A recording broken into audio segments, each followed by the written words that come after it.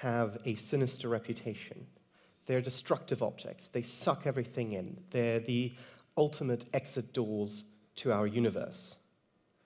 What I'd like to convince you of today is that despite this reputation, despite the ability to spend space time itself, to swallow light itself, that black holes are actually uh, very much a creative aspect of our universe, that when they want to be, they can be the brightest objects in the universe, and that they fulfill an important regulatory formation. They moderate our universe so that life like we know it is actually possible. But what actually is a black hole? A black hole is a, a, very strange kind of object because we can turn pretty much any object into a black hole.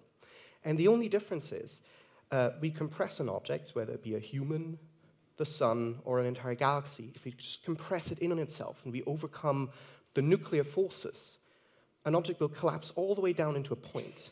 And Einstein's theory of general relativity tells us what happens around such a point. We call that point uh, a singularity. And so any object can really collapse into a black hole under the right circumstances.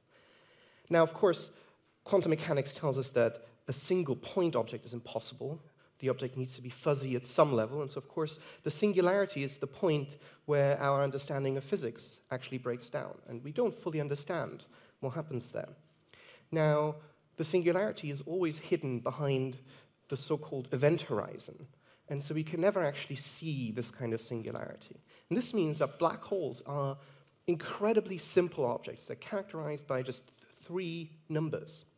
They have a mass, they can have a spin, so they can rotate, and at least in theory, they can also have an electrical charge, but in the astrophysical realm, we generally assume that they don't have a charge, that objects are neutral.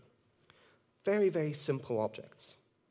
So what makes a black hole different from a normal object? So let's start with an object we're all familiar with. Let's start with the Earth.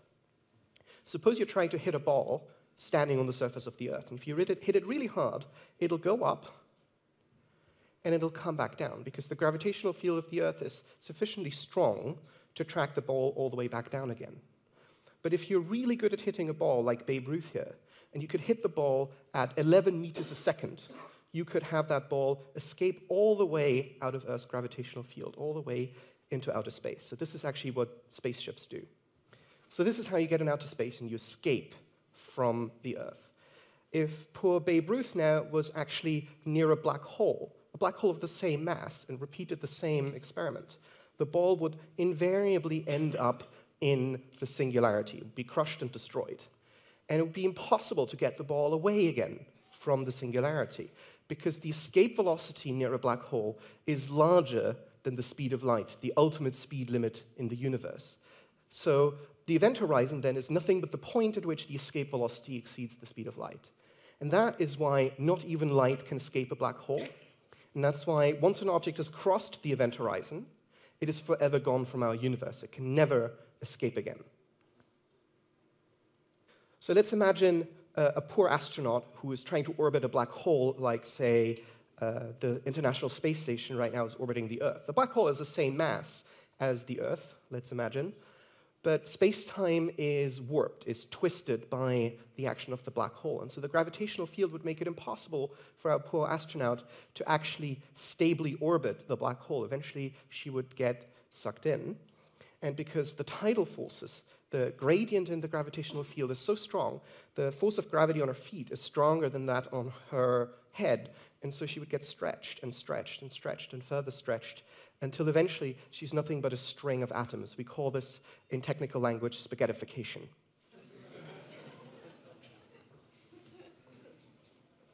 so, what would a black hole the mass of the Earth actually look like? If we took the Earth and managed to collapse it into a black hole, we would end up with an object that had an event horizon, a black hole with an event horizon of 9 millimeters, about this big. That's how dense, that's how small a black hole is. Now, I'm an astrophysicist. I study astrophysical black holes. And so, if we collapse the entire sun into a black hole, the event horizon would have a radius of about three kilometers. So, a bit bigger, but you know, by astrophysical standards, still actually quite tiny. We could go to even larger black holes. We now call them supermassive. And if we had a 4 million solar mass black hole, it would have a radius of 0.08 astronomical units. That's 8% of the distance from the Earth to the Sun. Uh, this black hole now is you know, starting to have a sizable mass and sizable radius. And uh, for the uh, people really paying attention, I picked this oddly specific number, 4 million solar masses, and they'll be relevant in a second. But of course, I study all black holes, and I'm particularly interested in the true monsters. So the largest black holes, the most massive black holes in the universe, can be as massive as 10 billion solar masses. And then I've indicated the orbit of Pluto here. We could comfortably fit our solar system a couple of times inside the event horizon of this object. So why did I pick 4 million solar masses? Almost every galaxy has a supermassive black hole at the center. And you all recognize this galaxy from uh, the night sky. This is our own Milky Way. And in fact, if we zoom into the center of the Milky Way, we find that the stars in the very center of the Milky Way orbit this empty spot. They're being flung around incredibly hard with incredible velocities. And the only way that this can happen is if there's an object with a mass of exactly 4 million solar masses. And you actually don't even need relativity to work this out. Newton alone tells you there must be an incredibly massive object there. Einstein then, of course, tells you if the object in this tiny, tiny volume wasn't a black hole, it would immediately collapse into one. But of course, the center of the Milky Way is, is pretty quiescent right now.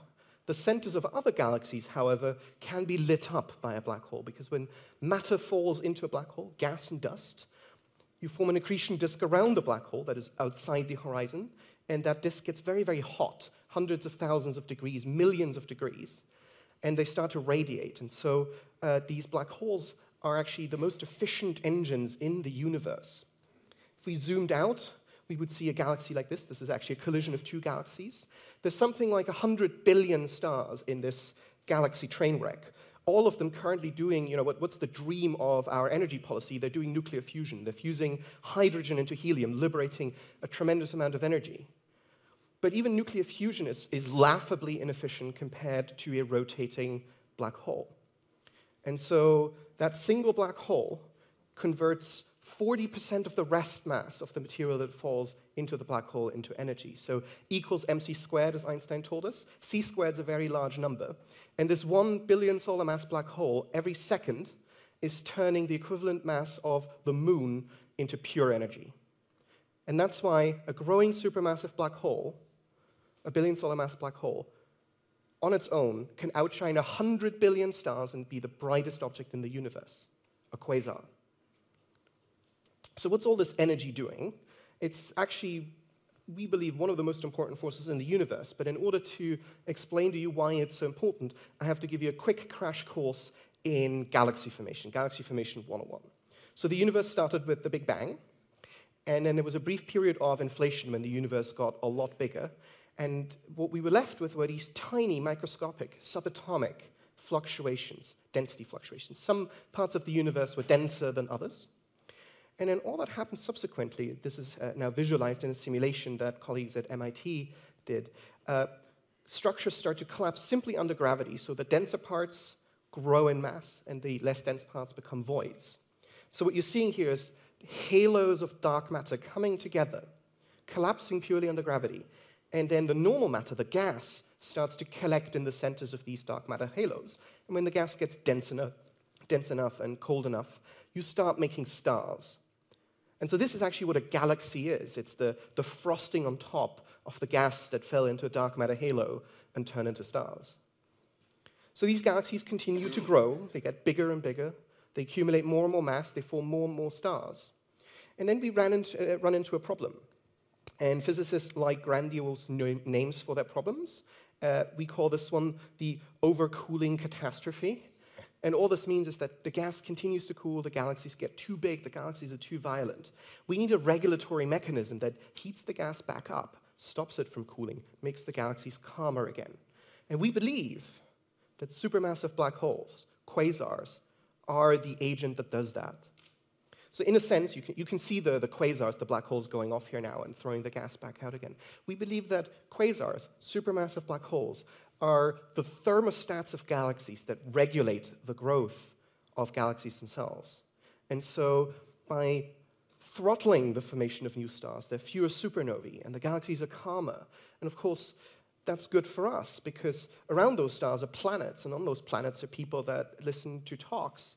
And if there are too many supernovae, that's extremely unhealthy. There's lots of radiation and UV light. You don't want that near you. So we should be grateful for the fact that our Milky Way has a black hole at its center.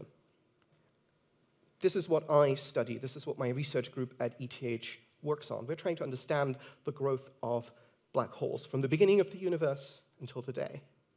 What you see here is what, is, for me, actually one of the most profound images that humanity's ever taken. This is an X ray image of the sky taken by the Chandra X ray Observatory. This is an X ray telescope the size of a bus that was launched in 1999 by NASA, by the Space Shuttle. And almost every point that you see in this image is, one way or another, growing black holes, feeding black holes, some of them in nearby galaxies, some of them at the edge of the universe right after the Big Bang. And I want to understand all of them. So here's something we're doing right now. This is a, a way of looking at the relationship between black holes and galaxies that my group is uh, trying to develop. What you're seeing here are Hubble images of a bunch of galaxies, and the green stuff you see is gas. And the gas is being lit up by the light from the quasar, from the black hole in the center of the galaxy. So think about if you go out at night and there's some fog, and you take out a flashlight and you shine the flashlight onto the fog, the fog starts to be illuminated. This is kind of the same idea, but on the scale of a galaxy, and the flashlight is a billion solar mass quasar. And galaxies are large, they're tens of thousands of light years across, hundreds of thousands of light years across. And so the time between the light being emitted by the quasar and hitting those clouds is significant. And so when we want to under understand how galaxies and black holes interact, you know, we just don't live long enough, and especially PhD uh, study courses are not long enough to study this process. So we're trying to find new ways in which to understand how these systems change over time. So we're looking at these light echoes of the outbursts of black holes as they ripple out across galaxies. And so here's a visualization. This is also data, but this is of a, an individual star that gets brighter and fainter as time goes on. It goes brighter and fainter. And so the light echoes travel out across the gas around these systems. Now, of course, this is a star, so it does it on short time scales, and we can observe it. What we're trying to do with these observations of galaxies and quasars is analogous to that, but of course, we can never see a change. We just don't live long enough. So I'd like to finish with this visualization in full general relativity of what it would look like if we fell into the 4 million solar mass black hole at the center of the Milky Way. You can see space-time is being distorted. the background stars are completely being distorted. And one thing you should notice here that, that the horizon has no reality. It's not a surface. And I think, we've, I think we've already passed the horizon. So we already lost to this universe. And all that's left now is we keep falling further and further towards the center, and we're about to hit the singularity. And when we hit the singularity, then it's over.